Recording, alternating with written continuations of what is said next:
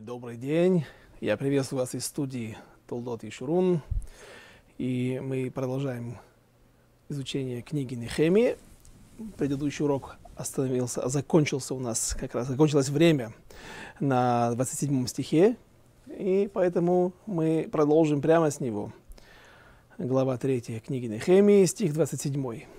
Э, мы говорили о... Э, вся глава это рассказывает о том, как возводилась крепостная стена, или точнее залатывались дыры и разные бреши и разрушения, которые причинили еще каздимцы до, э, во время разрушения первого храма.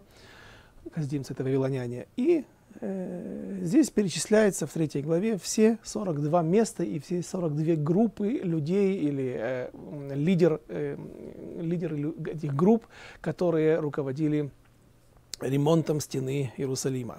27, 27 стих. За ним такой же участок отстраивали жители Текоа против большой выступающей башни до стены Офель. Выше конских ворот отстраивали священники, каждый против своего дома. За ним строил Цадок бен Имейр против своего дома. За ним отстраивал Шмая бен Шханья, сторож восточных ворот. За ним Ханания бен Шельмая, Шелемая. И Ханун, шестой сын Цалафа, отстраивали такой же участок. За ними Мешулам бен Брехья строили против своей комнаты. За ним строил Малкия, сын ювелира, до дома подданных и лоточников, что были, что против ворот счета, и до угловой надстройки. а между угловой надстройкой и овечьими воротами стояли ювелиры и лоточники. И было, когда услышал Санвалат, что мы отстраиваем стену, он рассердился и очень разгневался и насмехался над иудеями. Санвалат, как мы уже знаем, к сожалению, был самаритянин, который э, являлся пехой соседней области Самарии. И он был лидером тех негодяев, которые, тех царей Иуда, как все время пишется здесь на иврите, э, притеснителей иудеев, которые пытались всячески повлиять и помешать сначала закреплению евреев в Израиле, когда евреи приехали в начале, при прибыли туда с группой э, Зрубавеля, первые 42 тысячи человек, сразу же начались проблемы, и им удалось заморозить стройку на 18 лет. Но вот Иерусалимский храм отстроен, он уже функционирует, работает. Теперь еще нужно отстроить стены, и они продолжают не сдаваться, несмотря на то, что уже отгремел Пурим э, несколько лет назад, какое-то время до этого, посередине как раз вот этих вот 18 лет. И уже были наказаны все неевреи, которые, те неевреи, которые, или точнее, как мы говорили, были наказаны или убиты амалякитяне и их потомки.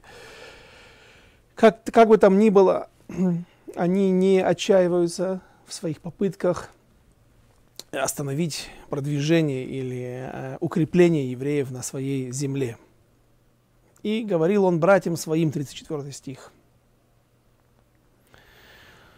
И войску шамронскому, видите, он из Самарии, поэтому и он своим полчищем э, такие речи высказывал. И сказал, что делают эти несчастные иудеи? Разве дадут им отстроить? Разве смогут они перенести жертвы? Разве дадут им закончить в какой-то день? Разве смогут они оживить камни из груд праха? Э, он еще и красноречивым был, оказывается, почти поэт. Э, Мертвые камни, ну, развалины, э, камни, разбросанные по сторонам, и вот евреи пытаются их, как он говорит, оживить, вложить обратно в стену, добавить замазки, добавить цемента.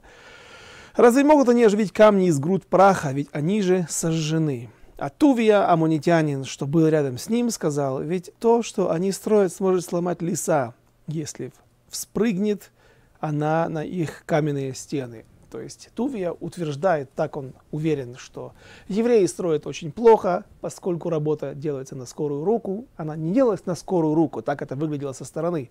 А евреи торопились, евреи работали и днем, и ночью, не покладая рук.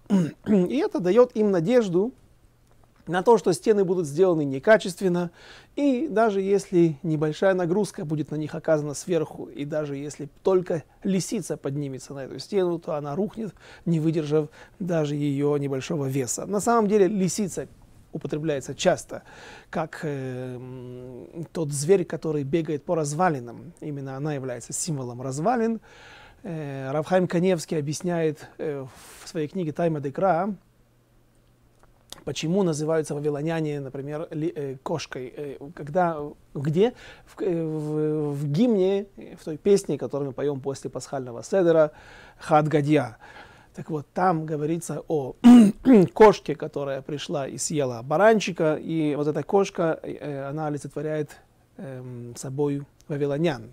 Почему? Так Рабхайм Каневский утверждает, на основании, разумеется, своих, э, наших источников, э, что в, у, у, у, у пророков сказано, в пророках сказано, что Вавилон за то, что вавилоняне каздимцы разрушили первый храм, так и от Вавилона не останется ничего. Как мы видим, пророчества эти сбылись. Сегодня от Вавилона только э, известно место, где есть его развалины, хотя город был очень большой, несколько дней пешего ходу для того, чтобы было его пересечь.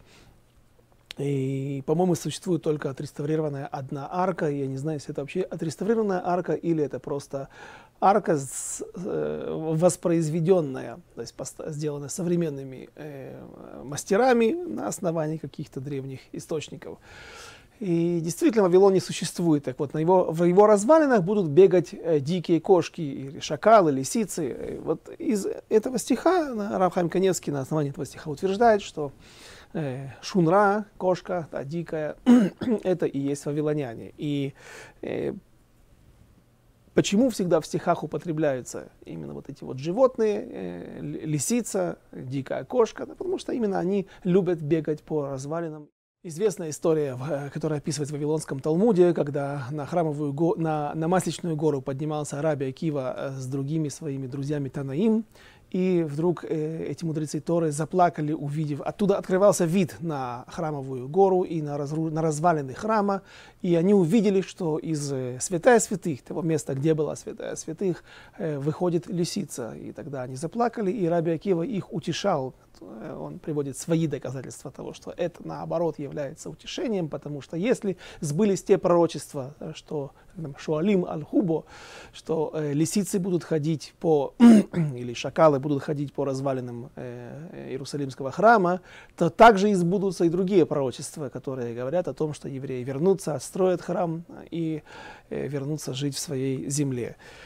Э, что еще, вспоминая, приходит э, на память э, Шира Шеримска, есть тоже стих Шуалим, а Мехаблим Бакрамим, то есть лисицы, которые э, умеют проделывать, так говорят комментаторы там, что лисицы, они умеют проделывать ходы в заборах и разрушать таким образом как бы стену Э, начинают этим э, разрушение а, и для того, чтобы пройти вовнутрь посадки какой-то и чтобы их ее портить, хотя непонятно, как могут лисицы портить виноградники, но там очевидно идет э, э, речь о вино, иносказательной форме. Ну, в общем, э, лисица использована здесь этим Туви амунитянином не просто так, как символ того, что э, стены эти вновь превратятся в развалины, и даже нам не придется ничего делать для того, чтобы это приблизить эти дни, когда стены эти рухнут.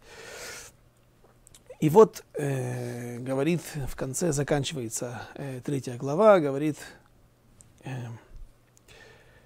Нехемия э, возносит молитву, «Услышь, Боже наш, что стали мы посмешищем, и обрати оскорбление их на их же головы, и предай их разгрому в стране пленения их, и не скрой преступления их, и да не сотрется пред тобой грех их, потому что досаждали они строителям. И отстроили мы стену, и соединена была вся стена до половины высоты ее, потому что в середине у народа было, э, было желание работать».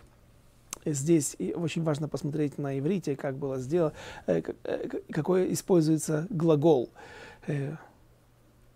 Ванивна, хома, ватикашер. Здесь говорится слово, используется слово тикашер, то есть было связано. вот эти вот части стен были наконец-то связаны между собой. И еще мы увидим, как будет использован глагол ватерапе. Буквально рефуа – это излечение что стена была излечена от своих ран, от своих эм, э, тех, тех, тех разрушений, которые нанесли и вавилоняне, и Э, так, как мы говорили, стройка это длилась 52 года. Начнем 50, 52 дня, извините, четвертую главу. И было, когда услышал Санвалат и Туви, Аравия, Манитяне и Аждотцы, что началось восстановление стен Иерусалима, что начали закрывать проломы, до, то их это очень рассердило.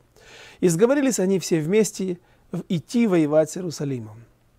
А ему, народу, создать препятствие. И молились мы Богу нашему, и поставили против них стражу над стенами днем и ночью. И сказали иудеи, не больше сил, нет больше сил терпеть, а земли еще много. Но сможем мы отстроить стену. И сказали враги наши, не увидят они и не узнают, как придем мы в среду их и перебьем их и прекратим работу. И было, когда пришли иудеи, живущие Среди них говорили они нам об этом десять раз со всех сторон. Возвращи, возвратиться бы вам к нам. Э, и поставили я ниже. И о чем идет речь? Много евреев продолжали, которые, которые не, не, не уходили в изгнание, не были изгнаны, остались жить в Святой Земле и Теперь они живут в тех городах, где живут самаритяне, арабы и прочие негодяи, аждотцы. Непонятно вообще, что это за нация. Э, филистимляне жили в Аждоде. Это их города были в начале, но они сегодня уже не существуют, на этот момент не существуют, потому что были уведены в изгнание, э, как, э, как и все другие народы всего Ближнего Востока еще со времен Санхирива. Они ассимилировались и исчезли, больше их не существует сегодня говорят, что финикийцы, э, которые жили в Ливане, также принадлежали к тому же народу, как и филистимляне. Э, что касается финикийцев, так и говорят, что историки утверждают, э, для нас не так важно, что только на острове Мальта остались какие-то потомки вот этих. Все мальтийцы, в общем-то, это какая-то смесь между древними филистимлянами, или точнее финикийцами и, э, и наверное, итальянцами, кто туда потом, новые волны заселении этого острова, этих островов. И аждотцы, по-видимому, те люди, которые были не евреи, которые были насильно переселены со своих мест в эти края, и теперь они живут в Аждоде, э, потому что мы встречали в книге Эзра, где говорилось о том, э, упомина, были такие фразы, что наши, от, наши сыновья, э, то есть были евреи, сыновья которых э, говорили наполовину на иврите, половину на аждо, по, по, аждодит, по-аждотски. Э, то есть э, проживали, по-видимому, там, и было влияние, они являлись меньшинством, и, э, разумеется, под влиянием э, нееврейского окружения они впитывали в себя э, тот язык, и уже меньше знали святой язык, чем э, аждотский. Аждотский для них был родным. И вот все они вместе собираются для того, чтобы прийти и воевать. Как мы сейчас увидим, э, все это было только Э, были больше угрозы, потому что э, армии большой у них не было. И более того, когда они увидят, что евреи очень быстро организовываются, очень быстро берут оружие в руки, и в одной руке мастерок, в другой руке копье или меч, э, и когда они встречают вот так, таким образом их встречают евреи, они отчаиваются, не отчаиваются, но они меняют тактику, переходят к новым методам борьбы против евреев. Давайте же все по порядку. Э, евреи, которые жили среди вот этих аждотцев, самаритян и прочих врагов народа Израиля, они слышали, не могли не слышать о том, что э, готовится война против какие-то налеты и хотят помешать, положить конец этой стройке. И они доносят евреям. По-видимому, они не могли самостоятельно противостоять или перейти откры- открыто на сторону евреев. Э, и, может быть, даже были задействованы для каких-то работ. Вряд ли бы евреев, как э, называли их э, в сталинские времена, космополитов, ну, это и правильно, в общем-то, потому что евреи всегда остаются евреями, и в большинстве случаев, в абсолютном большинстве случаев, всегда работают на своих, а не на местные власти, которые не всегда потакают евреям, находятся на еврейской стороне. И здесь же это, подтвер... это подтверждается, теория э, против космополитов подтверждается, потому что евреи доносят э, Нехемии и его окружению о том, что готовится военная акция или же какой-то, какой-то ряд нападений на возводящих стену Иерусалимскую. И поэтому говорят они 10 раз. 10 раз им не имеется в виду, что мы 10 раз доносим, а вы не, а, не реагируете на это, а 10 раз, что много, очень много было подобных э, сообщений. И те евреи, которые, возможно, и не были пусть и не были взяты для, для военных, задействованы для военных действий, но э, наверняка были привлечены к каким-то работам в тылу. Может быть, заниматься поставкой провизии или вооружений. И поэтому им известно о планах неевреев, и они помогают своим, чтобы их не застали врасплох. И поставил я ниже место стройки за стеной, на сухих местах. Поставил я народ с семьями, с мечами их, копьями и луками их. И посмотрел я и встал и сказал главарям и помощникам и остальному народу. Не бойтесь их, помните Господа Великого и Страшного, и сражайтесь за ваших братьев, сыновей дочерей, за жен ваших и за дома ваши. То есть Нехемия не отступает, Нехемия не уступает своим врагам в инициативе, и он также готовится к встрече этих врагов. Могли бы люди сказать, ну смотри, мы уже сделали, как мы закончили третью главу, и было сказано там, что стена была возведена, то есть по всему периметру Иерусалима стена была закончена, были поставлены ворота, засовы. И стена еще была недостаточно высокой, потому что сказано, что до половины ее высоты было вот все, все, все бреши, все разрушения были залатаны, застроены. Но еще оставалось место для работы. И евреи могли бы сказать, ну смотри, пока все было хорошо, мы пришли, мы готовы были потратить свое время, оставить свои семьи, оставить, ведь тогда же все жили в основном натуральным хозяйством. Это значит, что дворы их, их э, фермы, их поля оставались без, без рабочих рук, без руководящих рук хозяина. И достаточно этого. Мы и так немало пожертвовали. Давай остановимся, давай теперь разбежимся кто куда, чтобы не подставлять себя под э, удар. Э, но Нехемия не позволяет сделать это евреям, перехватывает инициативу, и мы даже не видим, что были какие-то здесь прения, какие-то обсуждения как себя вести. Нехемия знает, как себя вести. Оружие, в котором не было, по-видимому, недостатка, э, раздается людям, и э, все, кто задействован на стройке, каждый несет в, одной руке, держит, как я сказал, мастерок, в другой руке держит свой меч а, или щит, или лук. Еще будет об этом говориться, давайте прочитаем.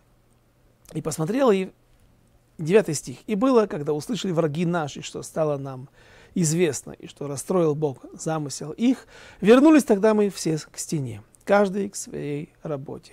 И было с того дня, половина моих юношей выполняет работу, а половина держит копья, щиты, луки и одета в панцири. И панцири, ширьон. Действительно, здесь используем слово ширьон.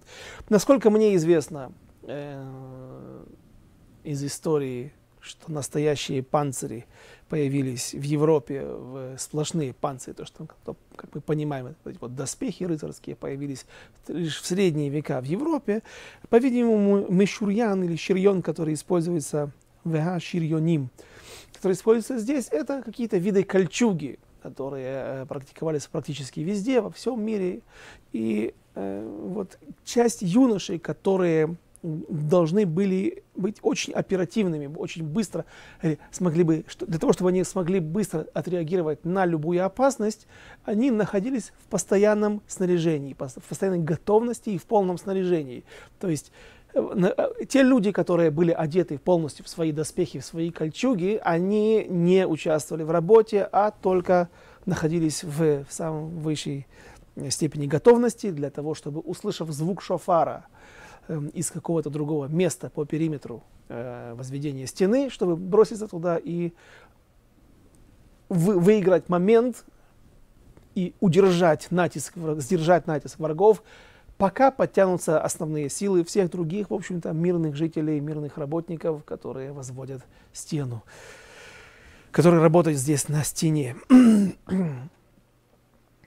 И было с того дня половина моих юношей прочитали строящие стену и носильщики тяжестей, навьючивающие животных. Одной рукой выполняют работу, а в другой держат меч. И у каждого из строителей на бедрах повязан был меч его. И они строили, а трубящий враг был рядом со мной. То есть э, есть разница между э, работниками и, соответственно, в их вооружении. Люди, которые находились э, на,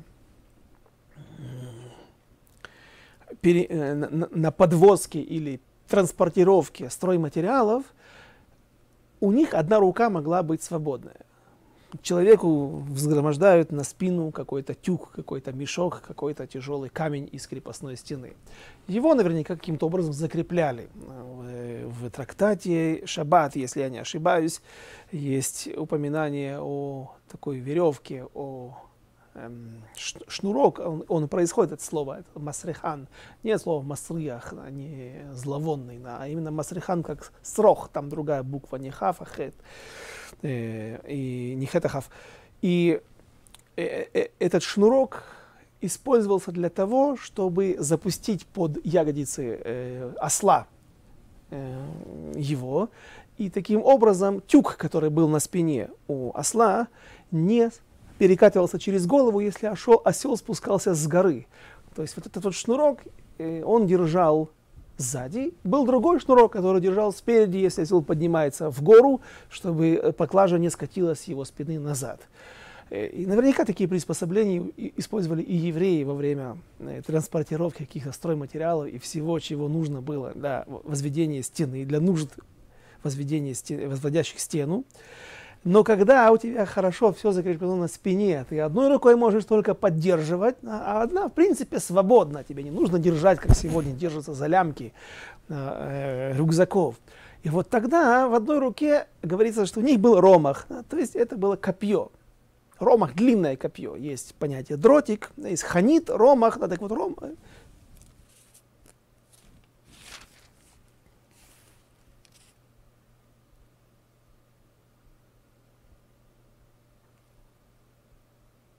Здесь используется слово ромах. И также э, есть э, ромах это метательное копье, дротик.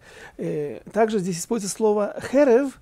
И вот для меня это было открытие, как каждый из нас, кто знает иврит, кто живет в Израиле, э, понимает слово херев. Херев это меч.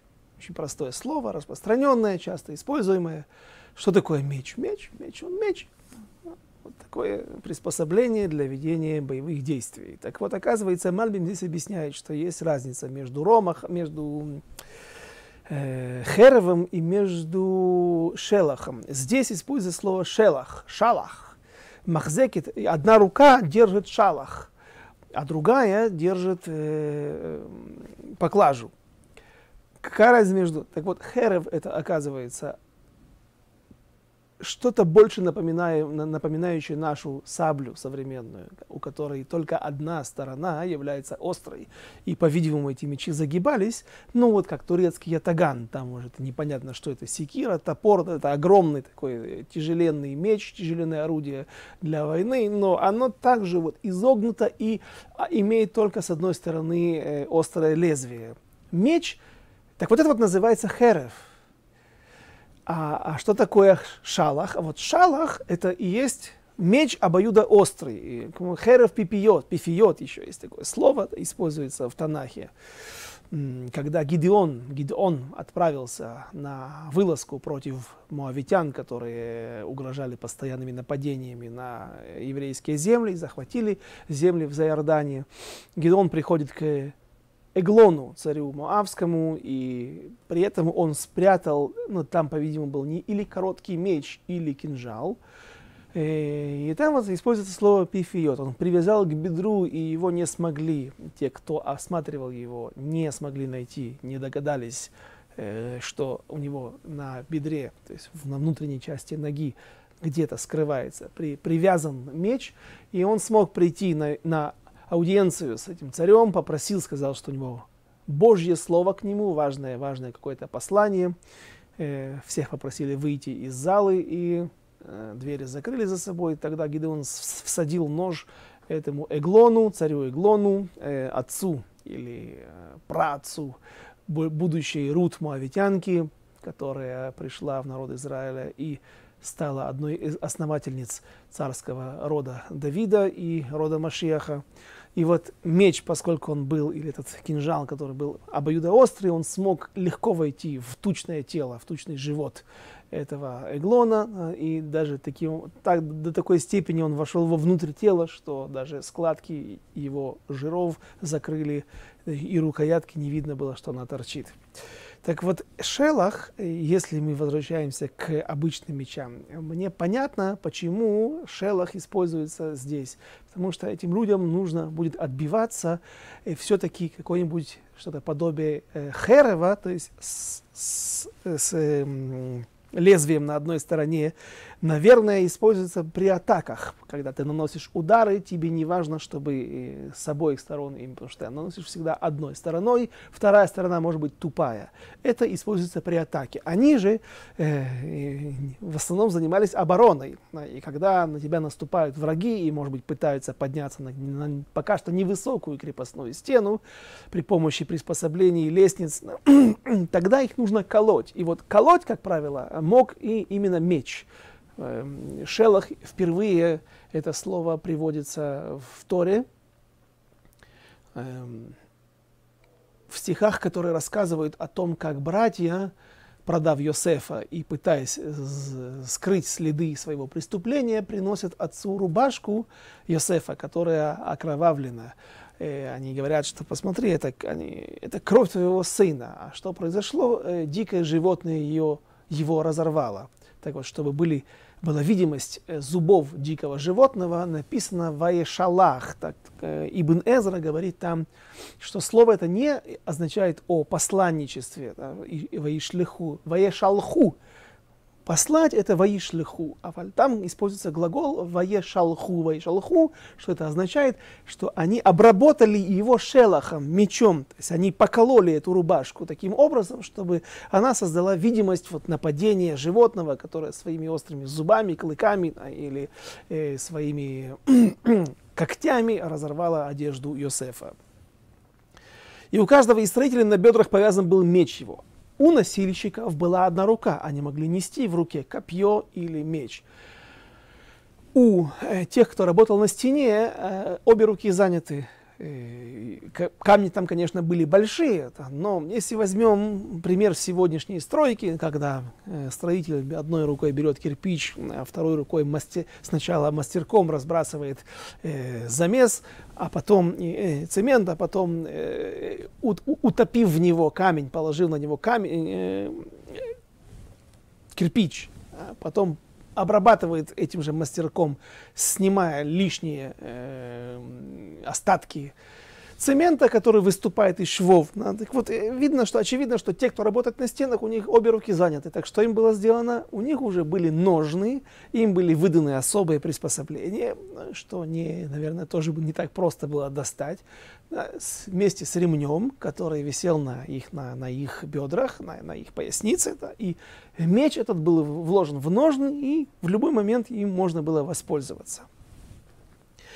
1, 13 глава, «И сказал я главарям и помощникам и, и, и остальному народу, работа велика и обширна, а мы рассеяны по стене и далеки друг от друга. В то место, откуда услышите вы звук рога, туда собирайтесь к нам. Бог наш будет сражаться за нас. И исполняем мы работу, а половина держит копья от утренней зари до появления звезд.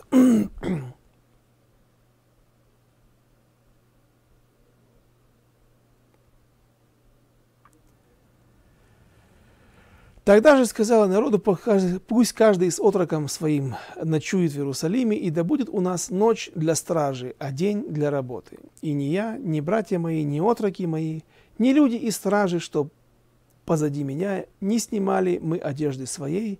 Снимал ее человек лишь когда шел в воду.